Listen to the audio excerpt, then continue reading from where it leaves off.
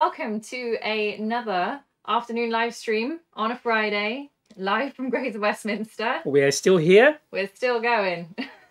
This is Becky. This is Konstantin, just in case you didn't know who we were. Um, as some of you know, and some of you have commented, yes, London is now locked down, so you cannot come into the shop, but we can come to work. So you can still buy stuff from us. We just have to send it out to you uh, or click and collect, which you can still do. So don't worry, never fear. You can Yeah. still get your Nikon fix um, for the duration of the next month. Uh, And then let's see how it goes. and let's see exactly. Let's see how it goes. Um, we have another giveaway this week. Since you loved it last time, It was so much fun to give away something last week that we thought, why not do it again? That's Th- right. This is courtesy of Konstantin. He is the the vinyl connoisseur in the shop. So you have to say a big thank you to Konstantin if you win. Um, I'm not going to sign it for you No. unless you ask. Could you ask nicely? So, Con, tell us about this album before we dive into the topic at hand today. Absolutely. So, real quick, if you've got a record player and you like a bit of jazz, uh, this is a must-have album. It's called Something Else, and it's by uh, Cannon uh, ball Adderley, um, who was a sax player, and it features Miles Davis on it. Came out in 1959.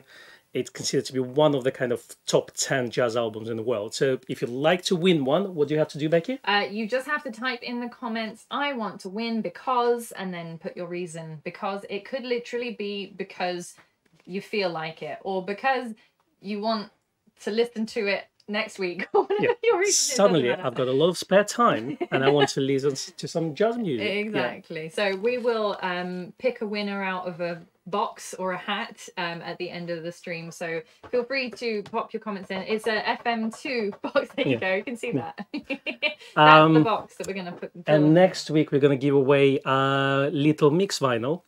Since we just decided to change it up a little bit.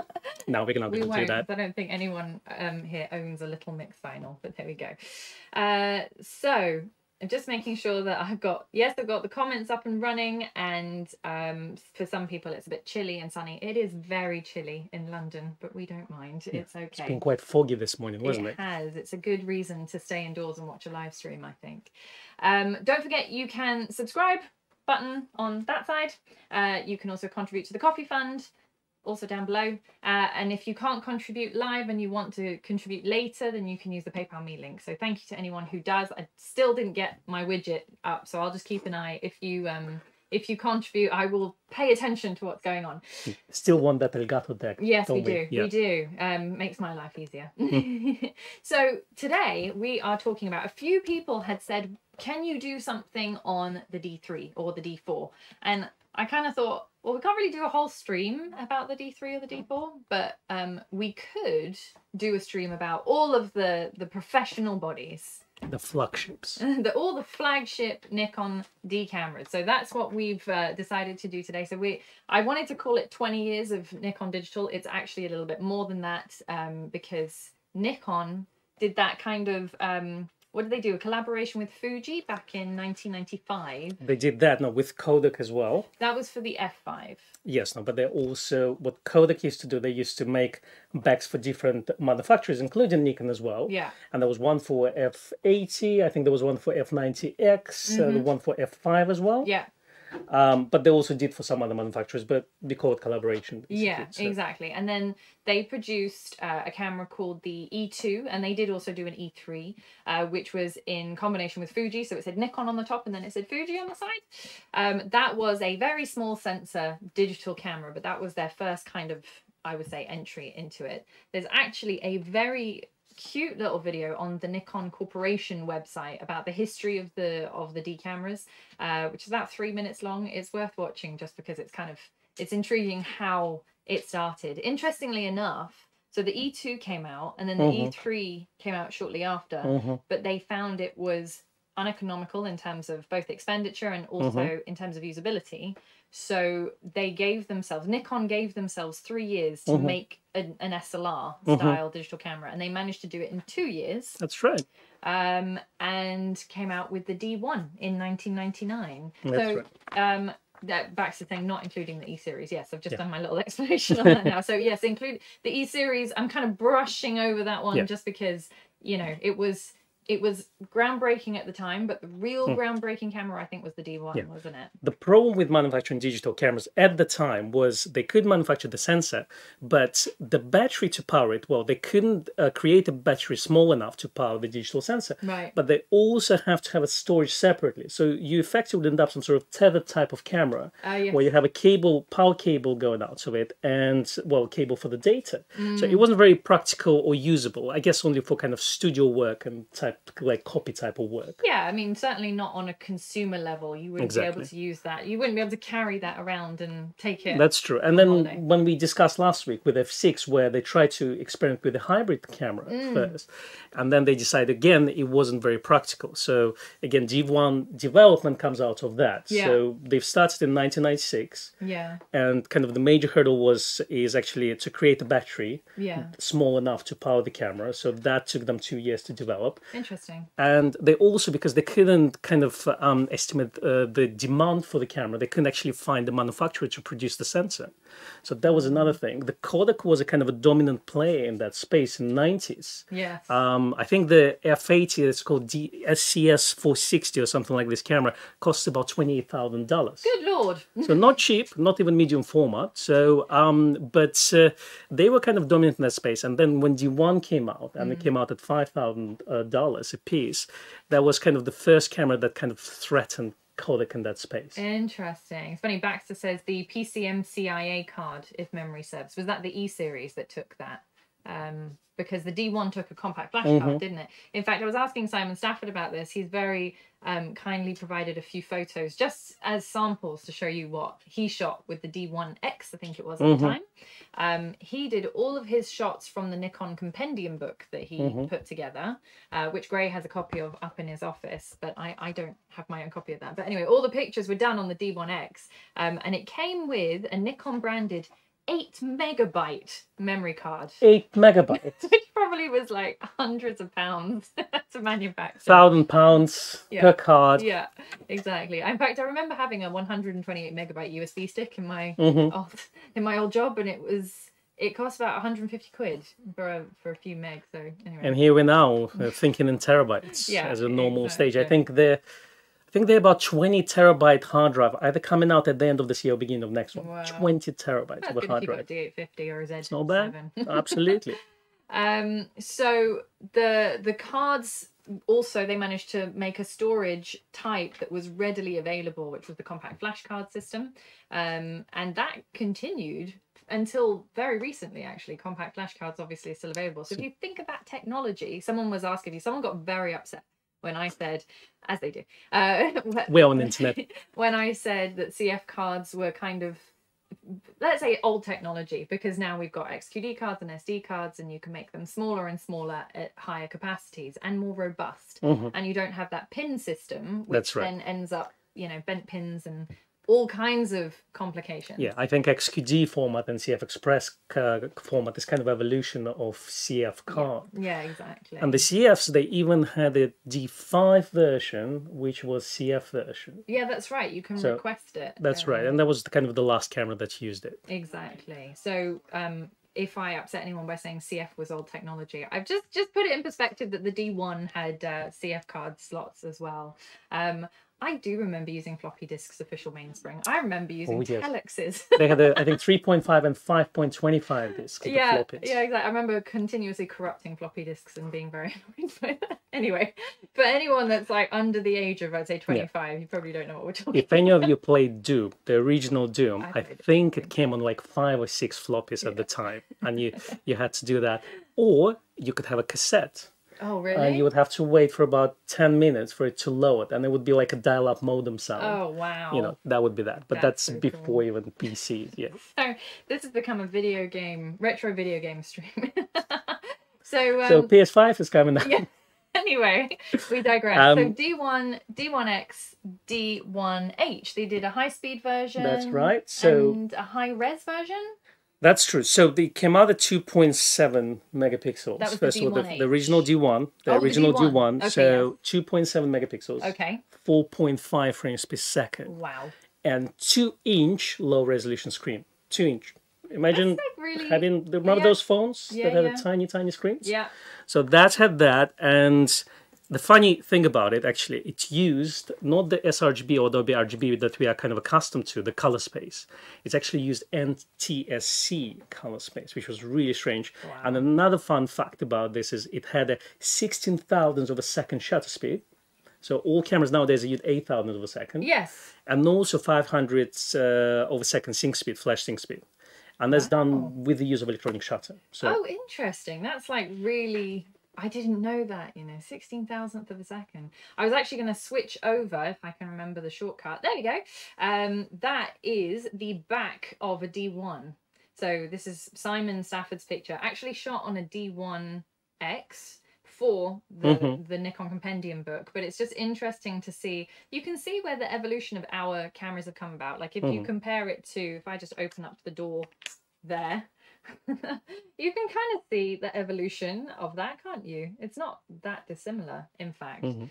Um, And then, yeah, coming back to D1X and D1H, Yeah. the D1X has 5.3 megapixel sensor. So, and D1H had the same 2.7 frames per second uh, megapixel, but at 5 frames per second instead of 3 frames per second on D1X. Right. So the the X was kind of considered the high res version. High res studio kind of fashion, you know, kind of, you know, 5.3 advertising. megapixels. 5.3 megapixels. Wow. Huge I think that at the time. that's probably what my old that's what the iPhones have now is like the old iPhones have Yeah. the standard. I think nowadays like 8 or Yeah. 10 megapixels or. So quite a lot of resolution at the time. Now, you know, we've got 45 megapixel sensors. Other brands have up to 60 or 100 megapixel sensors. So, and this is um just because Simon's got the photos here. So these are D1X shots. So these would have been shot at 5.3 megapixels, uh, which is kind of interesting. But it was bit it was good enough for print quality at the time. If you look, this is actually this top plate view. That's very similar to what we see at the moment. And um, then just as a picture that was done for the book, this is a picture taken on a D1X. That's a scrapped prototype. so they, yeah. yeah, Didn't no, happen. classic, classic camera. So there we go. So that just gives you some some samples. Yeah, there. there was they had the D1R in development, and R stands for retro. Yeah. yeah, that's right. Um, so just I'm actually just wondering if anyone's got any questions on these. Uh, Charles Robin says my first CF card was like a mini hard drive with a moving disc inside. Can't remember what it was called. Oh, interesting.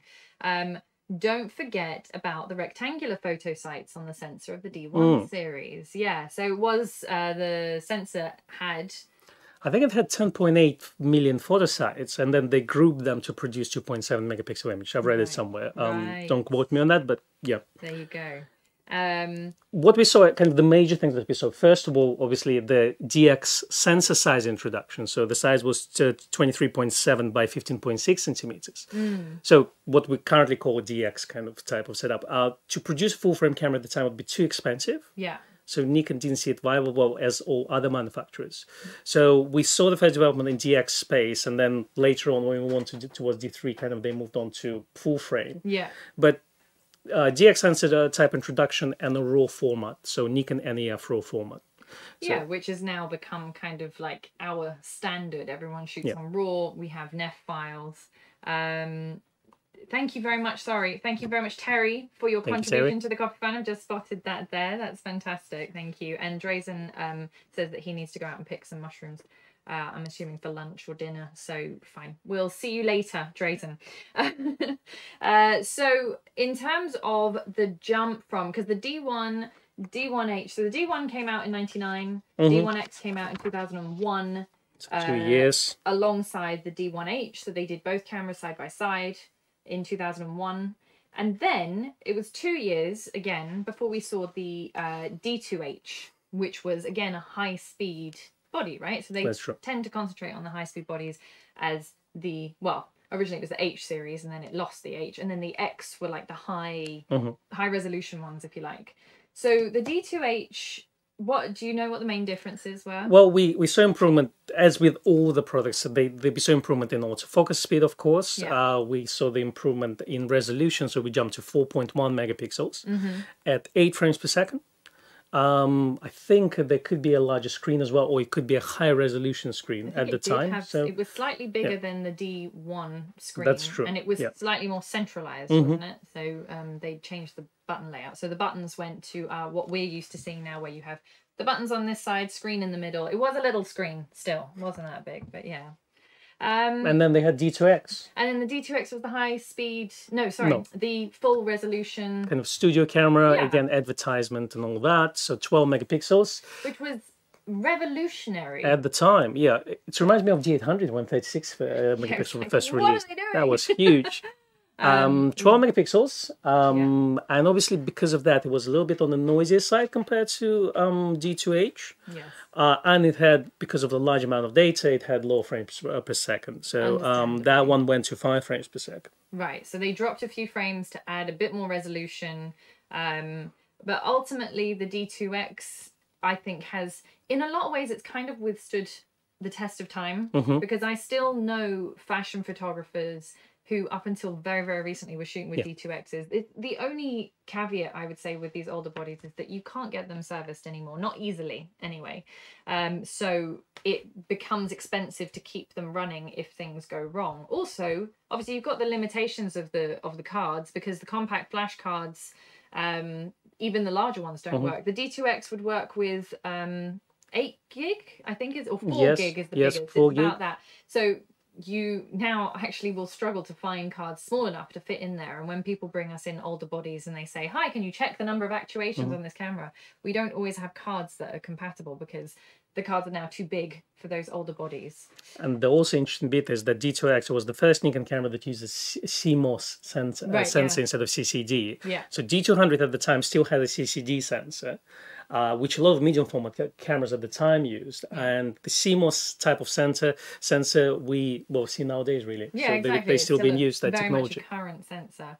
Um, and then they did a D2XS, didn't they? Yes. D2HS and D2XS. So Again, two year upgrade cycle. So they came out in 2000 and Yeah. um, 2005 for the 2005. HS and then 2006 for the XS. So literally two years apart for each one. Um, and again, those were, I mean, we tend to see with the S models sort of incremental changes. yeah, version would say. 2.0 of, of the camera. So Yeah. kind of lots of quality of life improvement, but nothing that's been standing out. So the resolution was still the same. Exactly. Sensor tends to be the same. but- frame rate Mm-hmm. the same um, but they improved the um, well overall kind of uh, responsiveness of the camera Mm-hmm. it was a slightly bigger screen uh, better viewfinder yeah. Uh, and overall better performance Yeah, there were a few other things like being able to connect it to Camera Control Pro 2 at the time, being able to use wireless transmitters or improved compatibility with wireless transmitters. At the time it was like the WT1, I think Mm. was the first first one. So you had these as as Con said, quality of life improvements rather than big groundbreaking changes. i like them Um, Baxter's gone like super geeky on me. D2H has a JFET LB cast, I'm going to pronounce that wrong, sensor and a weak infrared filter, which makes for interesting colours fixed in the D2HS. That's Mm. good to know. Charles says, um, I had a D2H fantastic camera like a rocket ship compared with my earlier D100. I actually cut my teeth on a Nikon D100. That was my first digital camera. it reminded me um, i think it was my first year working here Yeah. um, we've got the last of brand new d2hs's i think we got tw- like 20 boxes of them Oh my goodness. and we were selling them at 995 a piece wow. it was kind of like sellout price you know I kind of remember that. and they literally went like within two days I bet. yeah that was incredible So I wonder who who bought one of those. Actually, I'd be interested. Well, a lot of sports photographers who need a frame rate, yeah, they went for that, and low light performance at the time was outstanding as well. Yeah, yeah, for for that day and age. That's one of the things that I found with Nikon cameras. When I mean, I haven't used loads of other brands, and as you know, I'm not like I don't secretly have a Canon that I use all the time. Not that I have any problem with it, but I've noticed that um, the low light performance, particularly on the Nikon cameras, has always tended to have that slight edge over the Canons, whereas the Canons kind of went down. Mm-hmm. Yeah, we don't have any other cameras, but we will say Nikon is better. yeah, exactly. Completely unbiased. Totally unbiased, yeah, absolutely. um, Roy and Terry both also had D100. It's funny, D100 for me was, you know, it had, instead of changing your mode on the top and your ISO by pushing a button and stuff like that, it had this little dial that you would swing round to change things. And anyway, it was very nostalgic. I was then, my mum, who worked at the shop, for some of you that remember Tabitha, um, she got me a D200 as a Christmas present, I think back in 2008. I've started with D200 as And well. D200 was like, was revolutionary in comparison to the D100. So, um, anyway. I think we should do a stream on D200. we should. Yeah. I just show Yeah. you my old photo albums. Yeah. Um, you actually have some pictures that you shot with the D2X. wasn't it? Yes. So before we switch, um, we go over to the next one. Bear with me. Some of the early commercial work that I did, Okay. and I was studying at college at the um, at the time, so it was a BTEC National Diploma in Photography. So Yeah. the the one that- that called ping pong, yeah. Ping pong. Oh, lovely. So those I did with D2X. and it was nice. a lovely camera uh, that would shoot amazing shots up to 800 ISO and then would get really, really grainy. So, Yeah. really kind of is 400 ISO is the tops I would ever go with it. But for studio type of work, it was, you know, um, good enough because you would have plenty of light to lead the subject accordingly. But that was one of the first commercial jobs I did. Those are great. And actually, you know, 12 megapixels is kind of the happy place, I would say, in terms of resolution. So if you're not looking for a low light performer camera Yeah. and you're not also printing billboards, Well, the one with the T, Yeah, uh, that that was low light, and that was yeah, that was without any other light as well. So it was still possible to take the shots. and it's just not easy of, enough. you You know. know, you can maybe if you're being super critical, you Mm-hmm. might be able to see a bit of noise in the shadow. But I mean, in terms of a usable shot, in fact, I find that that almost has a a kind of like a film quality to it. Do you know what I mean? Not Mm, mm-hmm. Yeah. not um because of the the noise necessarily, but just because things are a little bit toned down and a bit more simplified. When D3 came out, we had actually a lot of people saying, "Well, I still prefer colors from my D2X Yeah, than from that all the D3." time. Yeah, Every new camera that comes out, I prefer the colors from the old camera. I'm going to explain why it's different in a moment, but um, I haven't finished. What this, this set is amazing. Why have I not Yeah. seen these photos before? Um, because I'm shy. yeah, you promote your stuff more. I love it. So these are all D2X. These are all D2X. Right. Yes.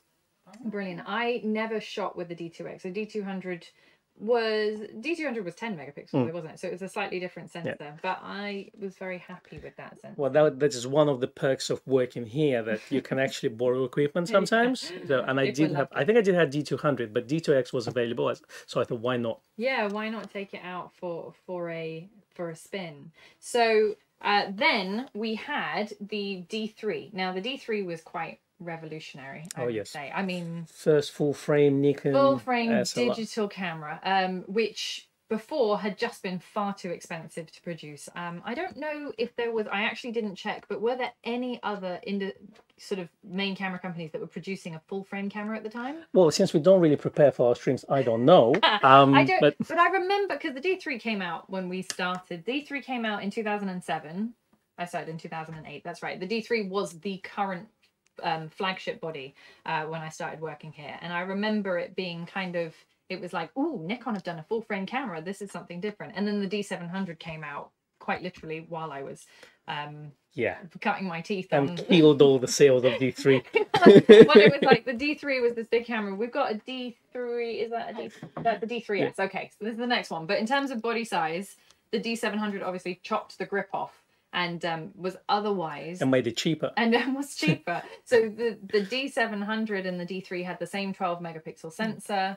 The D3 um, ha- was the first camera Nikon camera to have an EXPEED processor in it. That's right. EXPEED processors have become kind of synonymous with excellent low light performance um, and also just generally, I mean, the processor is the thing that is responsible for turning your image into a into an image, taking that information off the. So it's like Intel or AMD, but for your camera. Yeah, exactly. So Nikon doing their own EXPEED processor. This is where um, they really had the edge over a lot of other manufacturers because suddenly their processor was able to cope with very low light um, situations and get rid of a lot of the noise. And though low light in D3 was amazing, Yeah. it was groundbreaking. Yeah, completely. Especially at 12 megapixels. Again, we said D800, D2, D2X Yeah. at 800 ISO was quite noisy. That one could shoot at 3200 with still acceptable co- image quality. And some of the shots, I don't know if you've seen some shots over kind of London from helicopter Yeah. at night. You you wouldn't be able to shoot with film uh, for this type of shots. It just wa- wasn't possible at the time. And the, we we started to, to kind of do some photography that wasn't kind of available to us before. Yeah, I would or say achievable a it way, kind yeah. of yeah definitely opened up the door for other types of photography, things that you wouldn't have been able to do with film, for example, or that would have been very, very difficult um, with film. Uh, just having a look. Had a D300 for an age. Yes, that was 12.3 megapixels. Uh, Nigel still has a D1H, a D2H, and a D2HS. Um, and the D2s still work, but don't have a battery for the D1H. The D1s had that big Ian battery. battery, which Ian was very Ian un- Ian four. four, yeah, was and you could have MH16 or 17 to uh, to charge it, and they were very unreal or unreliable. Well, Yeah.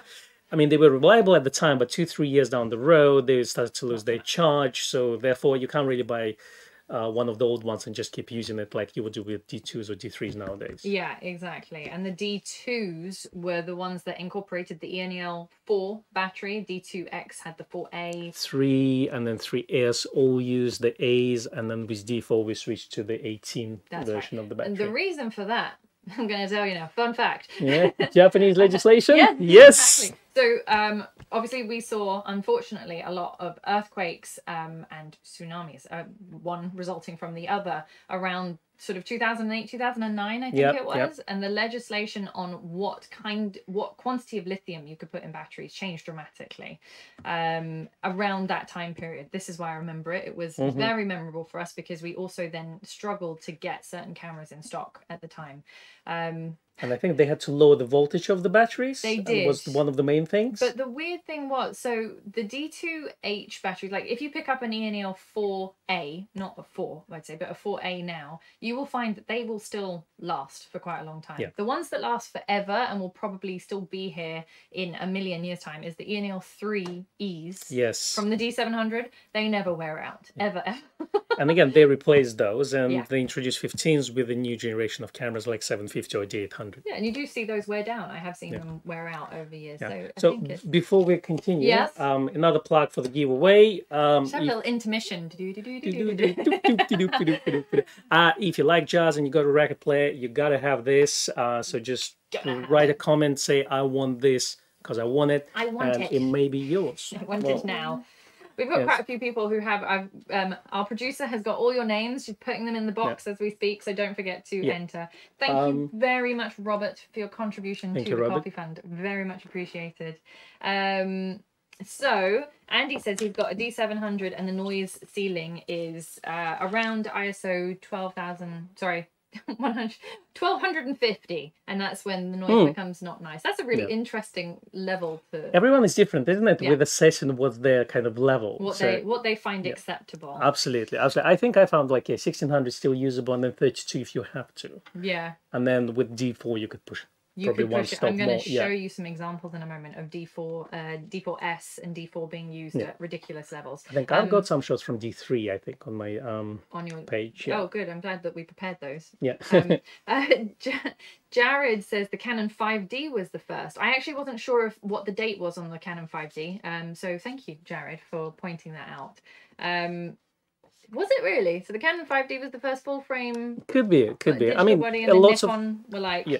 Don't forget us. Here's Well, the D3. a lot of those technologies have been developed around the same time. Yes. So you, the one camera may come out a little bit earlier, let's say three, six months earlier, but obviously these products take ages to develop, years to develop. Yeah. So in terms of this, yes, a lot of those things, um, you know, would come out around the same time, would be developed at the same time. It's like D90 was the first uh, DSLR with video on it, but then 5D Mark II came out Yeah. um, a couple months later. And then you Canon know. were like, we do video. Yes, Everybody bought the, the Canon cameras if they were doing video work. And obviously, um, the D90 didn't even have autofocus in video. It was a very basic video functionality in a DSLR. But again, it was it was impressive at the time. Interestingly, um, the so when we had one of the designers Tetsuro Goto over from Mhm. Japan when he was doing his kind of like retirement tour, he said that the fil- the the, the manufacturing companies like Nikon would speak to their Yeah. you know to the other companies. They talk to each kind other. They talk to each other because you've got engineers, you've got designers, you've got all these different teams, and they all have their own kind of thoughts, and they will collaborate, and then they come together at the end and work out what they're going to put in their cameras. So sometimes you will find overlapping features, and that's why also sometimes you find that one brand does something on Yeah. their cameras which the other brand doesn't because they've you know, whoever's designed it at the Yeah. time has gone, we don't need that, do we? And then everyone goes, why didn't you put it in your camera? That's the thing. I think that's why we don't like really those kind of you know different brands wars Ah, because so pointless. they're all doing good for photography and they're all pushing each other to produce better equipment. Exactly. Um, Baxter says that the one DS was full frame. I'd have to check fact check that. We don't know not Sorry, excuse our ignorance. Um, haven't shot with with a Canon for a very long time. Uh, can we expect a medium format mirrorless camera from Nikon? No. No, they won't go to a medium format sensor, I don't think. Um, which is a shame, but at the same time, you know, they've kind of they found their sweet spot. I don't think unless the whole oh can you um sorry my battery's not charging can you check that my thing's before the stream ends on a dramatic note there because my I think the beauty of the market at the moment is that we have manufacturers of full frame cameras, of medium format cameras, and of DX cameras, and you can choose whatever equipment you want, and they're all very good. Yes, exactly. So it's um although it's very much horses for courses, you don't have to you know, we we like Nikon, we've been here for 12 years um talking about nothing else. It doesn't make a huge amount of sense. I need to turn my alerts off. um doesn't make a huge amount of sense to um to not not plug Nikon say, yeah. or not use Nikon cameras. And the thing is, this the, those things they take time and money to develop as well, and it's not a one-year production. Like something like mirrorless, Nikon wasn't the first one in the game. They took their time and they made sure that the, the first generation of products are really good. Yeah. Um, and in terms of this, we have other manufacturers. Well, let's mention Fuji and Hasselblad, and uh, they do fantastic medium format cameras. If you go on a higher budget, you can always go for with Phase One. yeah, exactly. Um, but again, yeah, full frame nowadays is where it's at. Um, and if you want something small and light, you can go with the DX range. Uh, yeah, and I, I would also say that in terms of medium format, that's not necessarily a consumer level size of Yeah. sensor. That's medium format is for pro- pros, but also for studio photographers, Or very rich people. or, or people who are completely loaded. So if you um, so if if you look at like the the Nikon kind of strategy of let's produce a camera that lots of people will want to buy, Mm-hmm. doesn't totally make sense for them to produce a mirrorless camera. That's Yeah. my logic. We would love one, but again, we're not Nikon and Yeah. we are photographers, and of course, we want new things. We and like we love new them. shiny toys. Exactly. Um, so Andy asked if the D90 was the first live view incorporated in the SLR. It was Yes. because the video kind of went hand in hand in that, which was was very useful. So we talked about the D3. Then we had the D3X, which came out in 2008. Again, and I'm going to say it again the quality of life improvements. Wow, no, but it was also 24 megapixels. So yes, it Oh, was. the X. X. am thinking you're talking S. no, the S came out X. after. Okay, so this is this is where all the D800s come from. Yeah, So, so this was Nikon's first kind of, ooh, let's put lots of pixels in and see if people want lots of pixels in our cameras. 24 megapixels at the time was, was huge. ridiculous amount. That was your studio fine art landscape camera. It was a big camera. I remember selling one of the first ones in the shop. It was like what five thousand pounds? It wasn't cheap. Yeah. it was about five grand. Sounds normal nowadays, 5,000 pounds, Yeah, but for a flagship body, back in the day, like, yeah. What? And um, I was surprised, shocked, stunned, and a Hmm. little amazed that, that that would be a camera that a consumer would use. But there were people that wanted to take them on holiday and, and stuff like that. It was this size. Yeah. It looked literally like D3S or D3 at Yeah. the time, but it had a different sensor. Uh, even today, people swearing by the image quality and color reproduction of D3X. It was A lot- quite a special. Um, yeah, when D800 came out again, people say, "Oh no, D3X completely different color reproduction than D800." And if you like a big camera and that's kind of, you know, that you're used to the flagship bodies, then the D3X had that robustness to it, let's say.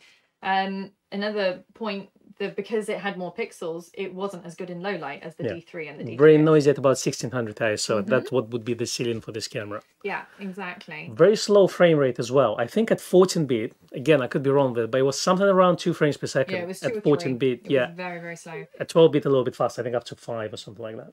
Uh, yes, if you exactly if you compressed it, and then shortly after the D3X, we saw the D3S. So the D3X was so D3 was 2007, D3X was 2008, and then the D3S was 2009. And some people got confused between the S and the X, but again, the X was 24 megapixels, the S was 12, and was basically an improvement off on the D3 essentially. Yeah, there was a quite a good low light improvement there. Yes, it was. That was the where the kind of cat in a coal cellar Mm-hmm. term kept coming around. Like people would shoot in pitch black, and you'd be able to Oh, yeah. see um see the the subject if you whacked it up to you know twelve and a half thousand. I think at that point we start to see with every generation they will say, well, now you can focus at minus two EV, and then you can go to minus four EV and minus Yeah. six EV, etc., etc. Or they would call it you can focus in the moonlight. yeah. So that's another way, uh, another technology they kind of started to introduce Yeah. with the digital SLRs. Exactly, and the and the EXPEED processors continued to improve. Although those were all EXPEED at that time, we didn't see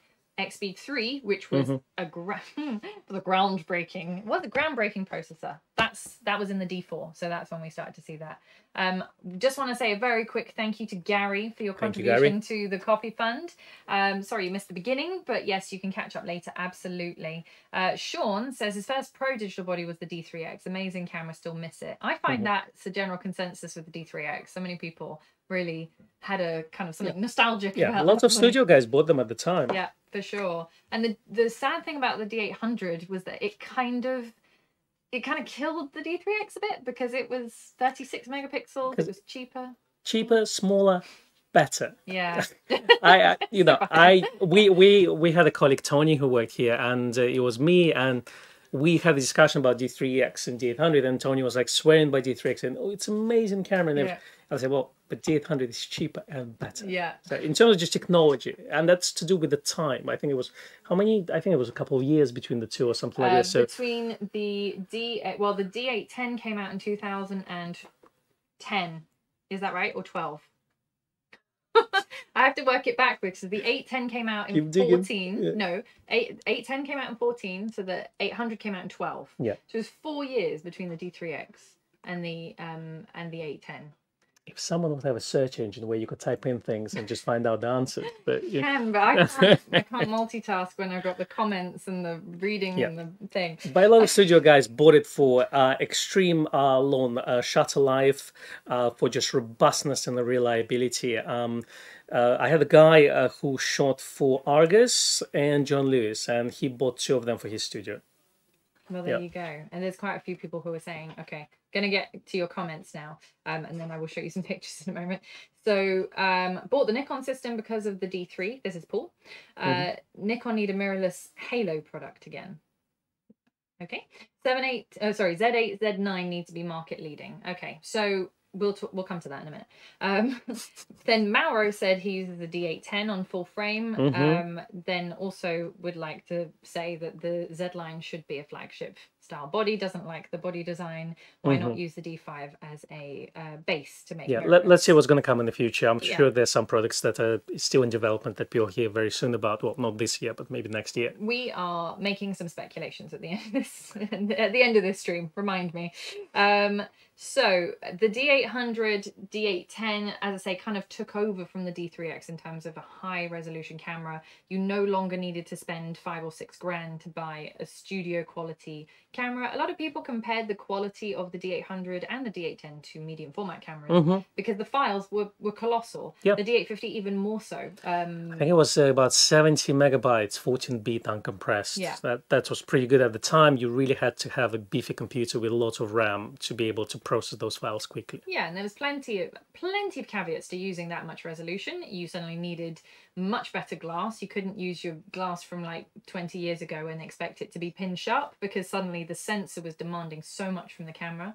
Even the D3X, that was the case. I did find some people, and also the need for fine tuning became more apparent Yeah, with those higher resolution sensors. So that's true. um the d3x was kind of i would say the the not the acid test but it was almost like nikon saying okay we've done this how did it go it went really well okay four years later let's produce a camera that um is a bit more consumer friendly For the masses. yeah exactly a camera for the masses um but we're not talking about d810s and d800s today we're talking about flagship bodies Yeah, So, we may um, have a whole stream on this. we can, yeah. I think we did one, didn't we?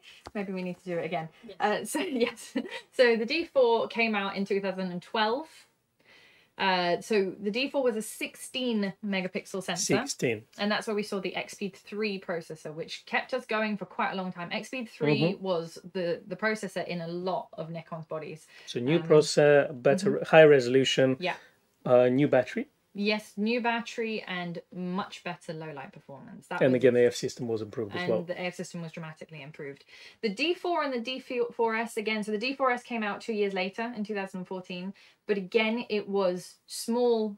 I would say incremental improvements. A lot of people didn't upgrade. I think from the Mm-hmm. D. In fact, some people tend to skip a few generations. Like they'll have a D3 and then they'll wait two cameras and then they'll go for D4S, for example, or D3S to D4S. I think at this point of the whole camera development, we came to the point where the technology was so good that Yeah. with the new releases, we saw kind of more incremental updates than the huge leaps. Yeah. And that's to do with actual quality. They achieved the quality that was kind of surpassable film in terms of, you know, convenience. yeah. Well, image quality is arguable, of course, but uh, in terms of that, you wouldn't need to upgrade every two years to stay competitive. At this point, you could have your camera for maybe another five, six years before buy a new camera and see a bigger leap in terms of technology advancement. Yeah, exactly. And um, I oh, I didn't show your pictures from the D3. Oh, let's Are have a look they on your D3. website? Yeah, let's go back one page. Uh, yeah, they can't Not see follow this. my work. Uh, Other commercial work. Just watch me All right, navigate if you go to website for a Casa, which This is the second one? one, yeah, Okay, so let me flip the screen for you, and then you can Yeah. see. Here we go. So so that was done for another restaurant, and I the the interesting bit about this work that a lot of these images were done uh, without any flash, so using lower light and using Mm. fairly high ISOs, and that's something that I wasn't able to do, let's say, with D2X. no, for sure, you would have Yeah. been a bit stuffed in this shoot if you had not used the D3. So this was D3 or D3S? D3, Right, okay. And you know, one thing that I found the D3, D3S colors were very different to the D4, D4S colors. Mm-hmm. that's true. Um, obviously, that has a lot to do with the Yeah. sensor, but also just the um, the the processor dealt with these files very differently. I think this uh, shot of Hamon lag was at about 6400 ISO. Wow, you wouldn't notice Yeah. it necessarily, would you? I've got some shot with the D4.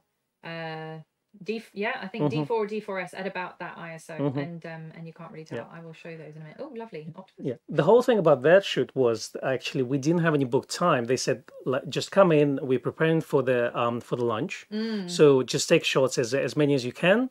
Uh, and you know we're not going to set you don't have time to set up the lighting or anything so i literally had to run around and just trying to find different angles so as you can see the, the chefs are preparing the food I really like that shot, that action shot. Actually. I'm not so keen on the big fish, but it looks very sad and dead. it is Um, yeah but uh, but this is great actually, and it Yeah. is very much like in the moment Yeah. sort of thing. Um, so then in contrast, so that's D 3 Mhm. So over here now, mine unfortunately are not in any kind of sequence, of course, but this is D 4 I need to Mhm. agree to the cookies on my own website. Um, this is D four at sixty four hundred ISO. So with with this, I don't know if I really want to blow up. I can a bit. And obviously, I was using I was using eighty five one point four when I was shooting wide open because I just wanted it. It was a concert that I just happened to sneak around. Mhm. next time get Um, a dust and just wipe the No, I wanted every mote of dust in the picture. Um, but in comparison, okay, so these shots were done with the D5, which we will also talk about in a minute. But D5, okay, so fine. I had studio lighting, didn't have to shoot at super high ISOs a lot of the a time. A bit of creating lighting system Create, set yeah, but yes exactly. It was when the SB5000 came out, actually. Mhm. That is a picture of a bassoon reed for anyone who doesn't know what that is. i still don't know what Still that don't is know what but that is. It goes on the end of a bassoon. i love jazz Yeah, exactly. Let me flip over from the. There we go. We're back to the Yeah. D5 shot. This is very joe mcnally type of Um, Yeah, shot. exactly. I was um, channeling my inner Joe for this one, for this shoot um, of a ballet dancer. Again, this was creative lighting system. Let me just find the wedding that I did. Oh, these. Okay, so in terms of concerts, these. This was in St James Piccadilly. Mhm. Oh, it was St James Piccadilly with a D4 and zero light, so you can see how you can actually see it falling Mhm. apart. This was also 70s 200 plus no, sorry, 182.8 D Mm. lens cropped to get. And what ISO do you think it is? Uh, that was- That's two. Yeah, that, Yeah. no. Sixty-four. It was 60. No, it was higher than that. It was 8,000. I remember because I was sweating. Like, how am I going to get this shot? Because you couldn't use flash. As you probably know, if you've ever gone to a classical concert, you you're not allowed to really do anything. And the sound that was a bench unveiling it was actually D750. That one. Here we go. Some wedding shots. Um, with classical concerts, you can the sound of the shutter will Mm-hmm. reverberate in a hall like that. So you get evil eyes from the people in the audience if you make too much noise. So the D4S had this ability to screen grab from live view. Do you remember Oh, it was the first one that It- shot it- silent? Yeah, that's that's what we'd call silent shooting Silent nowadays, isn't it? Now, yeah. which you can do full re- full res, but I couldn't obviously do that at the time. At the time, it was a screen grab and it was like five megapixels or Mhm, something. mhm. So some of those were screen grabs essentially. They were silent shooting mode on the D4S. Um, and then you know I used the D4S for um, a couple of weddings. Again, wasn't allowed to use flash because everything was ancient and it wasn't allowed. Um, so uh, so I had to just kind of go with the natural light wherever possible. Mhm. And um, yeah, I think it D4S Yeah, did a really good job. Um, my website isn't as organized as yours, unfortunately. So it's kind of like everything is all over the place. um, so I think your life is better organized than mine. Mm, yeah, my website's not, but my life is more organized. All right, so D4 sensor was a game changer for low light shooting. Yeah, I would say exactly. I was going to say uh, this is Woody saying that the it was best part of the DF. The D4 sensor was what they put into the DF, which gave it that kind of sweet spot sensor. Um, I've got a few shots from the DF on my website as well, but um, it just the low light performance on that was so good, but it also meant that you could shoot with those older manual focus lenses and the image quality wouldn't just fall apart. True. I would say. Um, XTPot, love your handle. Um, used uh, use D4S versus D780. Which do you like? The D4S is a bit cheaper. I love the 16 megapixel sensor and the body of the D4S, but very curious about the D780 sensor and autofocus. I have an answer. What's your answer? Um, I would say autofocus is about the same on both. Um, D4S definitely would feel nice in hand. D78 has a better technology in it. Yeah, and then in terms of the um, live view capabilities, the D780 is a hybrid kind of mirrorless system autofocus. So It's if- the best live view DSLR Yeah. from Nikon. So if you're going to Yeah. do what I did and shoot concerts in live view with silent shooting mode, definitely the D780 is better equipped for that. The D4S, as I say, the screen grabs essentially was what they were, were super compressed files. You couldn't do much with them after that. So everything kind of gets a bit noisy and, and falls apart. Um, so hopefully that answers your question, XTPot. um, now, I've used the big body Nikons. This is Yan. I've used the uh, big body Nikons from the F through F2, F3, F4, F5, D1X, D2X, now D850. It's all about the glass. Well, that's fair. You know, you've got that's an informed opinion, I would say. Yeah, she's got them all. I had them all, and it it is all about the glass. The glass is fantastic, but Yeah. there are limitations to what you can shoot. I would say, like the the shot that the shoot that I did Yeah. with that concert with the D4S would have been a hundred times easier with a D5. Yeah, That's the thing. It And changed my life. and I would say that let's say something that let's say you could shoot with D1 with the same glass, you would definitely get a better shot shooting let's say with D5 nowadays and the same glass. And that's just to do with the, the way technology and sensor technology has improved Yeah. more than anything else. Yeah, exactly. Nick says the Z6 is ideal for classical concert shooting. Yes, see Here now we when we can do concerts again and I get called back for concert shooting, I'll be using my Z6 um, alongside the D850. I the wedding the sh- shots that I showed you were from the D4S on that wedding, but I also shot with the D850. Um, so Sam, I agree. The silent shooting is fantastic.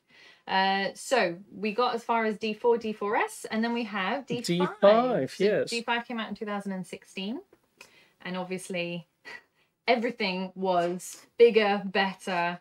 Um, D5 was I don't know. why I'm looking at my paper because it's not written there. It was 20 megapixels. I know that. Yeah. Again, bump in resolution, yeah, and it was also XP 5, speed 5. um, which was I would say again a revolution for low light performance. Yeah, and and also low light focusing Yeah. performance. autofocus speed overall. Yeah, because it had a yeah. second processor for autofocus, didn't it? Yeah, Like the yeah. Z6 II and Z7 II do now.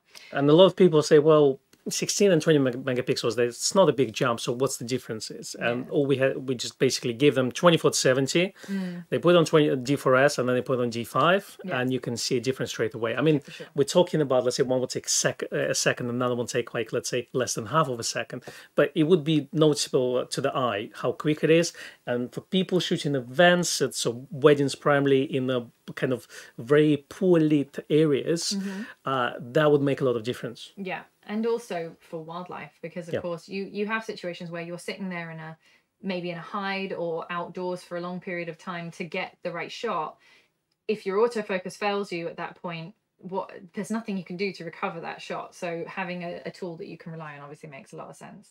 The um the d6 we've done a whole we've done a couple of streams on the d6 have we not or certainly one No, we still have a plan to shoot a D6 review video. yeah one day One day when we'll we get a that. demo unit of yeah D6. we haven't but it's the kind of camera that we don't put on demo at the moment not until we're sort of open officially and people want to come in and try it out but certainly comparing the d6 uh, with the d5 and also trying out all those autofocus Yeah. consider com- sorry configurations i think would be quite quite interesting And D6 was very polarizing camera when it was first announced. Remember Yeah. our video? yeah yes i do we got slammed on the you know by the internet uh, Oh people. goodness, it's so um, it was interesting because I think, well, let's say D5 was still a camera that a lot of people considered, let's say, uh, to put along with the 800 series. When D6 came out and became very niche product, where Yeah. for sports and wildlife photography, obviously the mirrorless system has been out at that point. Yeah. And a lot of people kind of decide to switch, kind of, you know, jump yeah the wagon and, they're like you know, okay i'm yeah. done with dslrs i'm going for a z camera now and then nick i'm Yeah. like but d6 Yeah.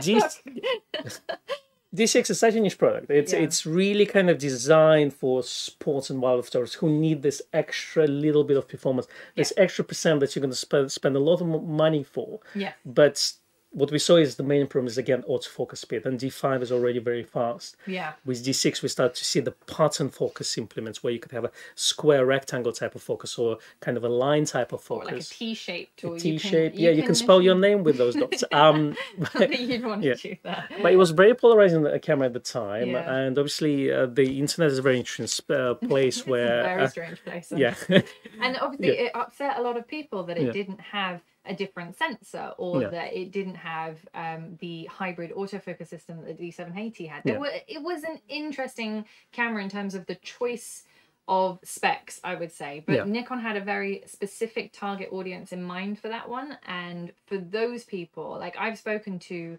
Joe uh, McNally, I've spoken to Moose Peterson, and you know, they say obviously the Zs are there for one purpose. The D6 is very much it has a photographer in mind, a Yeah. particular type of photographer in mind. So if you look at those, if you look at the spec sheet, Yeah. or if you look at the results and you go, eh, it's no big deal, then it's probably not a camera for you. It would Yeah. be like, look at the D5. It's a great camera. from feedback that we got from working professional photographers uh, they said that yes if that's the features that you need it's fantastic camera for that Yeah. but it's not for everyone No, exactly.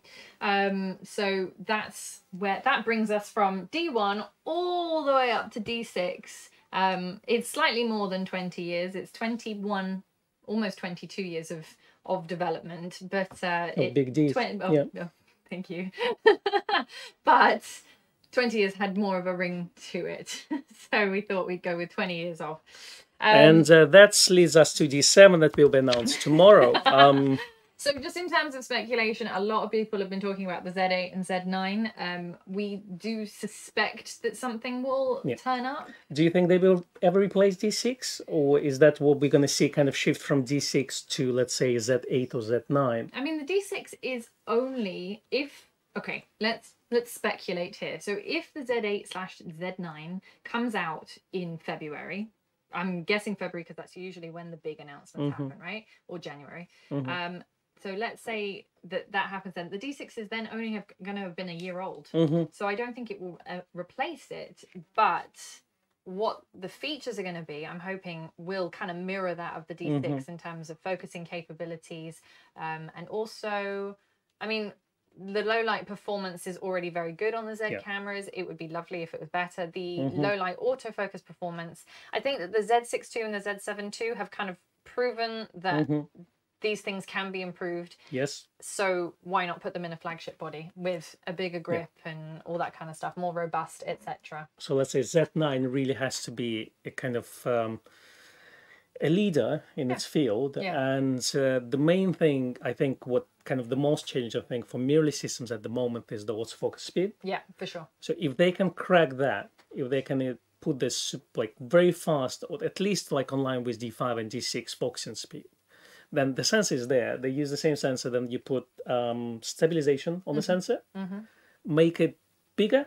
So with a bigger grip, so Yeah, for people with big hands, and you know, longer battery life. longer battery life, uh, and that I think would that what Z9 has to be really. Yeah, exactly. Um, bearing in mind that the D6, a lot of people have commented and asked this question. Yes, the D6 was an Olympics camera. Usually, these bodies, flagship bodies, come out. You in- mean the one that was cancelled? yeah, Olympics? the Olympics okay. that was cancelled exactly. So the D5 was an Olympics camera, as were the D4s. You know, they they've always brought them out right before a, a big Olympics. Yeah, Reuters bought a bunch of D5s, I think, and D6 at the time. Gators were buying those cameras Yeah. uh, specifically for their photographers. Exactly. So um, if we have a 2021 Olympics, which is the plan, then we would suspect that maybe there will be uh, a full frame body to go along with that. Mm-hmm. Actually, one thing we didn't mention is the LAN port on those cameras. So Oh, you could actually tether it to the to your laptop, and you would send out the images straight to your laptop, and they would be uploaded via either well wireless networks Mm-hmm. or let's say 3G or 4G networks straight to the agency. That would be quickly edited and uploaded straight online uh, for the newspapers to use. And again, with this type of things, every second counts. So Yeah, to have sure. the LAN port is much better than say sending the images wirelessly. It's the same as, for example, you can't see it in frame, but um, just behind Konstantin, we've got, I think, 16 D5 boxes. Um, these D5s are actually used in robots for the side of football pitches or in film studios because you needed to be able to directly wire. To, can you zoom out a little bit and just without completely upsetting the frame? It would just be interesting to to see. Can you see it? Yeah. So that is a tower of D5 boxes. There you go. And the um I think they got it. Wow, there's some 70s zoom in there. so smooth. Yeah. So um so the the robotics company actually had D5s in their robots for um instant transmission from the robots to their um sort of uh, press desks if you like where they could immediately edit and also they could remote control the cameras which was kind of awesome. So um, they've now switched over to d6s and z6s and z62s um, which is why we've got so many d5s so if you want to bargain on a d5 you know where to come. Um, but anyway it's just You can't just come a point in. of interest. You can't come in actually. No you know Cool. where to um, visit online lots of people speculating about the specs on the on the Z8 and and stuff. I don't think I can comment on those because I have no idea. But I would say Yeah, we can't spill all the beans. no, Not yet. We don't have all the beans to spill. let's be honest. Um, As a, But- as the meme, you can't spill the beans if you don't have them. that's right. Yeah. So the D500, someone asked if they'll ever replace it. I personally, and this is my personal point of view, this has got no connection with Nikon whatsoever. So it was it D500? D500, Okay. yeah. But I'm thinking that the D6 will probably be their last Mm-hmm. flagship body, and certainly I don't foresee any pro level cameras not being mirrorless in the Mm-hmm. future. That's my viewpoint. I do think that they will continue with the small um, consumer cameras for a little bit, hmm unless That's what I think. unless they bring out a Z30, let's say, 35. or yeah, exactly. 42 and a half. Yeah. Yeah. 42 and three quarters. Yeah. Um, because if they bring out a small ZDX camera, then that will kind of level the playing field a little bit on the entry level cameras. The D3500 is do not let Kon spill anything, Sam says. no spilling. Don't. I can't. Ah. Um, the D3500 and D5600, but specifically the 3500 is Nikon's most sold camera Yeah, of all their The most popular camera. That- Absolutely. definitely that line of cameras um, is for them the one that they Mm-hmm. sell the most units of let's say I think we're going to see D850 upgrade in a DSLR in DSLR. like a hybrid like a 780 but with a 7H hybrid, maybe bigger sensor. Ooh. Well, not bigger physically, but higher resolution, maybe 60 megapixel Sony sensor. That's, you know. that would um, be kind of cool actually But yeah, place place the bets. Yeah, Mm-hmm. I think D6 is probably the last flagship DSLR. yeah i think so too if if the z8 slash 9 whatever it's going to be next year has all the things that we think it's going to have then then that could actually work out Yeah, really well It is unfortunate. It is unfortunate, but that's just the way technology goes. yeah Um, and we all said about that, but it seems like in five, ten years we will all be using mirrorless cameras. Yeah, exactly. I mean, Nick points out the Z62 sounds like as much as he would need. I'm much of the same. Like, I wouldn't look at a flagship body. I don't need one. Z62 could now, if I had a Z62 alongside my Z6, I'd easily be able to do all the weddings, concerts, and, you know, just the general landscape and macro shots that I do. Um, there will be some people that will need the performance of a flagship body. Yeah. And- For me, D850 is still the best camera you can ever make. Yeah, it's a, it's a, a beautiful camera. So there we go. That's um that's my take on that anyway. But I'm not going to say that that's set in stone because they could complete. You know, they could announce something else tomorrow, Yeah. and we wouldn't know about it. Absolutely, absolutely. Um, so I think I've answered all the questions as I've been tracking along. I'm glad that I managed to say Jan's name right because he was very happy with that. Okay, are we Um, doing the giveaway? We're going to do the Yes. giveaway, I think. So Some um, goodies. 180 grams of warmth. Yeah. Well, you gotta have a record player. That's right. Yeah, it's and like you gotta a, tell me which one you have. it's like a hug. Okay, I'm gonna. Um, Can I do the honors? Yeah, so um, while you're doing this record player, then your speakers and your preamp. Okay. Let me know. Ah, it's Joy Whitehead. Well done, Joy. Well done. You get to win that one. Joy is a regular viewer on the show. Thank you to everybody who entered. Joy, I think I've got your details, but if you just want to confirm your contact details by email, drop an email over to me at info at grayswestminster.com and we'll Hope get enjoyed. your uh, record sent out to you. In the meantime, you can listen on Spotify. That's right, it's not the same though, is it's it? not the same. it's not the same. Um, anyway, I am very, very glad that we did this live stream. I know it was Yeah. a little bit of like, it was a bit of nostalgia, bit of a trip down memory lane, but it was quite We fun. cried. and we we laughed, laughed. we cried. Um, I really hope that, that you found that useful. For anyone who was asking us to do a stream on the earlier bodies, we've kind of covered them all in one go. Um, did you want to say something? We're going to giveaways every Friday. Ooh, we'd like to. Oh, Does every anyone want Friday. to sponsor some giveaways? We should. I mean, my vinyl collection is very large. but you don't want to give it all away. Yeah.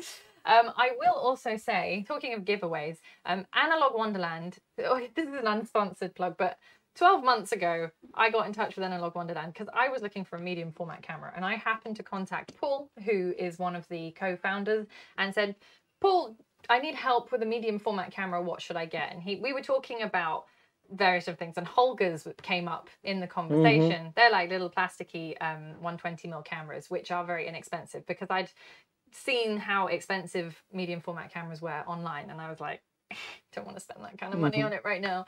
Um anyway, 12 months later and um a you know lot has happened since then Yeah, in and, the post. Package shows up. And a package shows up and inside is a Holga. I didn't bring it, but imagine it's here. It's upstairs. Um so thank you to Paul very Hmm. very much for sending me that. He said 12 months on, you know, this was a conversation I couldn't believe first of all that he remembered, but also that he sent me one. So So I've got Holga and you've got Holga. So we maybe should the put like a shootout. We Yeah. should. We Yeah. should. It's got nothing to do with Nikon, but it would be quite fun. Um, and then we can try and develop it ourselves and see Yeah. what happens. It'd be like British Bake Off. That's right. With 120 mm cameras.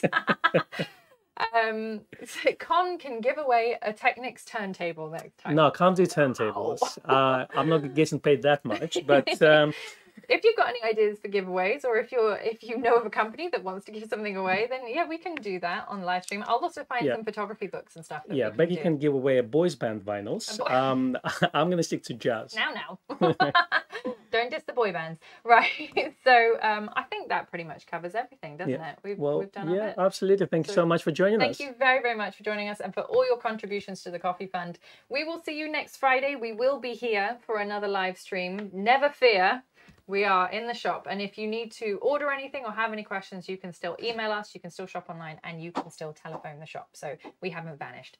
Um, Kon, you must not fill, spill the fixer when we do our. Um, do our That's a difficult one. At university where I studied, they used to have like a big container, so Yeah. they weren't small. So you just dump the whole thing and Yeah. just stay there. So there, there was nowhere to spill things.